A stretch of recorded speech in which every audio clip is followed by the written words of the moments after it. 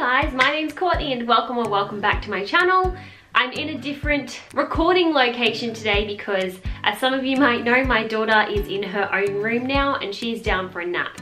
That is where I used to record, so this is my new recording space. As you can tell by the title of this video, these are the five pieces of mum advice that I was given before having Talia or in the first few months of having Talia. There is so much unwanted advice that you get as a new mum, but here are my top five ones that I got and why I think they're useless. The first one is probably the most common one, and that is nap when your baby naps. First of all, when your baby is only a few weeks old, all they do is sleep. So unless you want to nap 16 hours a day, that advice just doesn't make sense. And even later on, every baby and every person is different. And every time Talia was down for a nap, I needed to do housework or cook so that I had something to eat. Because for those of you who don't know, I'm by myself. So if I didn't do stuff while she was napping, things didn't get done. Maybe napping when your baby works for you. As I said, everyone's different. But for me personally, napping when she napped just wasn't an option. What I'm trying to say with this point is don't feel guilty for doing whatever you decide to do with this. If you want to nap when your baby's napping, do that and don't feel bad about it. If you need the rest, absolutely do that.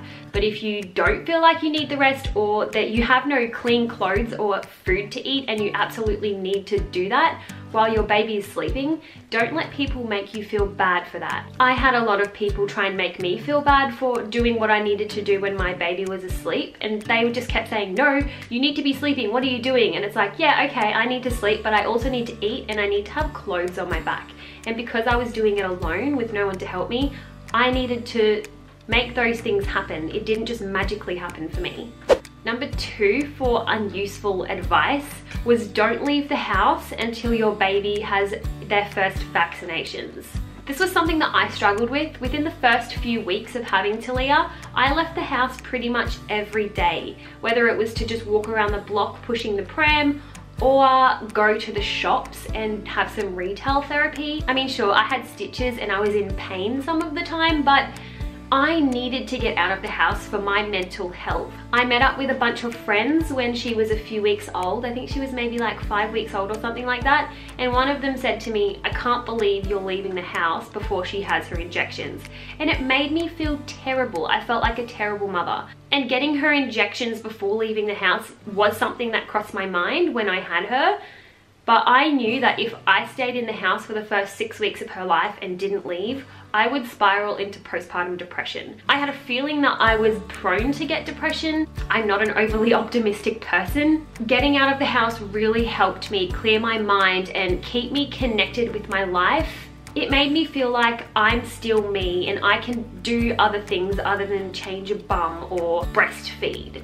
I was still getting out of the house, I was still seeing people. I could see how being locked in a house for six weeks could spiral anyone into a depression, let alone a new mum with all of those postpartum hormones going on. It just doesn't seem like a good mix to me. So regardless of whether you decide to stay at home for the first six weeks of baby's life or leave the house every few days to get some air for your mental health, don't feel bad about what you decide to do because like I said, everybody's different and everybody handles every situation differently. Looking after yourself as a new mother or just a mother in general is extremely important to you and to how you are as a mother and to your mental health. So please just look after yourself regardless of what that looks like for you. Number three is rely on your friends and family. This is a good point. I understand why you can, you should rely on your friends and family. But to me, when I think about that, I think about friends and family coming over to help you you know, tidy up the house or prepare meals for you or just drop off meals at your front door or maybe do your washing for you so you have clothes to wear. That didn't really happen for me. I didn't have a whole lot of help in that area and not because I have bad friends and family, but because I struggle to ask for help when I need it. I'm just one of those people that I like to do everything by myself and I like to feel independent. But the part of this point that I really struggle with is that people were trying to force their help when it came to Talia. They wanted me to leave my baby with them in the first few months of her life so that I could go watch a movie or get a pedicure or whatever it may be. But due to some circumstances in my life, I'm a pretty protective mother of Talia and I just can't picture leaving her alone with somebody for an extended period of time. I have left her alone with very close trusted friends and family for an hour or two here and there very rarely do I do that. So don't let people make you feel bad or pressure you into leaving your baby with them if you don't feel comfortable with it. I get very bad anxiety when I leave Talia with anybody other than her father. And that's fairly normal for a new mum. But that anxiety is exacerbated by people trying to force their help on me.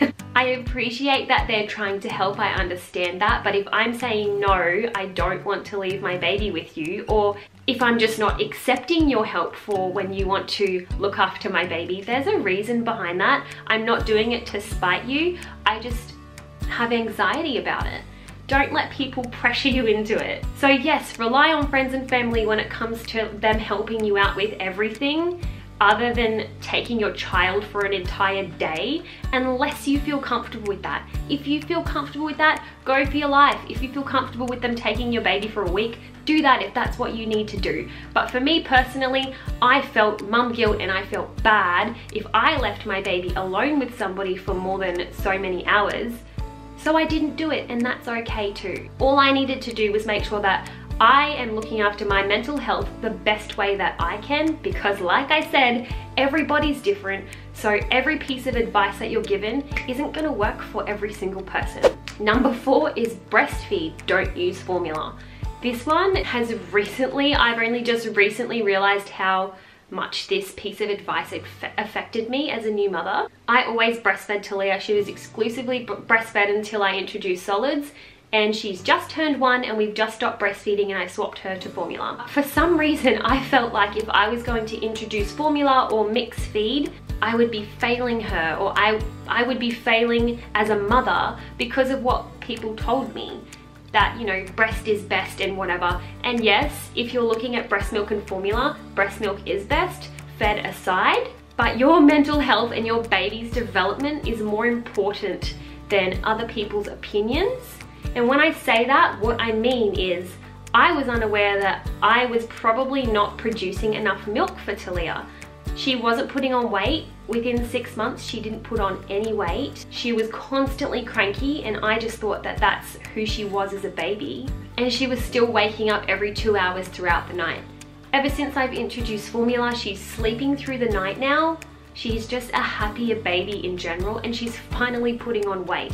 So I realized that all I needed to do was introduce formula as a form of nutrition for her and she was going to thrive. But because of all of the opinions and the fact that I was worried what people would think of me, which is very unlike me, I didn't introduce formula and she kind of suffered as a result of that. And I really regret not introducing it earlier. I was very strong-minded and stubborn when it came to breastfeeding. And no, no, breastfeeding is all I'm gonna do. I'm not gonna introduce formula. But in reality, I should have at least mix fed and maybe did a bottle or two of formula a day as well as breastfeeding because you're still breastfeeding, you're just mixing it with formula if that makes sense.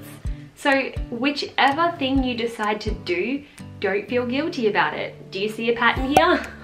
With all of these points, whatever you decide to do, whether it be breastfeed or formula or a mixture of the both, don't feel bad about it, just own it.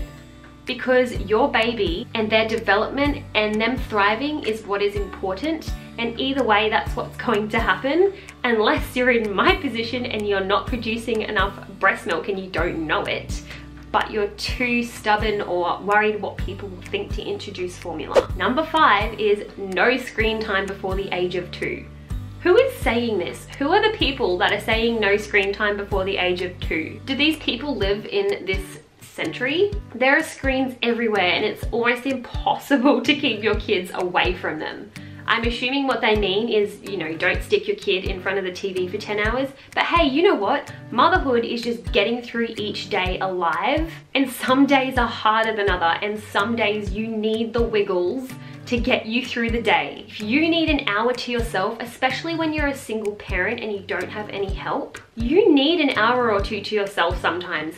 And sometimes putting them in front of the TV makes them happy. And you can get an hour or two of quiet time without having to feel guilty of leaving your baby alone with someone else. If you don't feel comfortable with leaving your baby with someone, screen time is a good alternative. Don't get me wrong, I don't leave her in front of the TV for like 14 hours a day, but if I need to get something done around the house and she's awake and she's at my feet and she's crying, I can stick her in front of the TV with the Wiggles and she will be happy to watch it for 20, 30 minutes while I get what I need done. Could you imagine if you didn't have any screen time at all for your children for the first two or three years of their life? None at all, no screen time. And then all of a sudden they turn two and you're like, here's a TV, a massive plasma screen. I could imagine that would be extremely overwhelming for them. This is the world we live in. There are screens everywhere, there's TVs, everybody has mobile phones and tablets and there's no use hiding it from your child until they turn a certain age because let's be honest kids can operate tablets by the time they're two so you've got little Joey over here playing games on the tablet while this kid over here is eating dirt, which is fine. I ate dirt as a kid, I get it, because that was the times back then. But I see two-year-olds who can work tablets, which that's a different opinion in itself. That can be seen as bad or good. I think as long as your child isn't just sitting in front of the TV and you're also mentally stimulating them in other ways and getting them outside and having other activities like reading books to them and developing all their senses, as long as that is happening, screen time is not going to kill them. Anyway guys, I hope you enjoyed this video. That is just my opinions on the top five pieces of advice that I got as a new mum that were just completely useless or just made me feel bad. The point of this video is that everybody is different. Every mum is different, every person is different, every baby is different. One piece of advice isn't going to work for everybody. That makes no sense. So take every piece of advice that you get with a grain of salt and just do what works for you to get through each day. Motherhood is hard. Some days are worse than others. So on those down days that you really need some help, do whatever you need to do to get through the day, whether it be screen time or give your baby to a family member for the day, whatever works for you, don't feel bad about it. Your mental health is crucial to your baby's happiness and it's crucial to your happiness too. Thanks so much for watching this video guys. If you haven't already subscribed, you can subscribe below if you'd like to follow our journey and I will see you in the next video. Bye!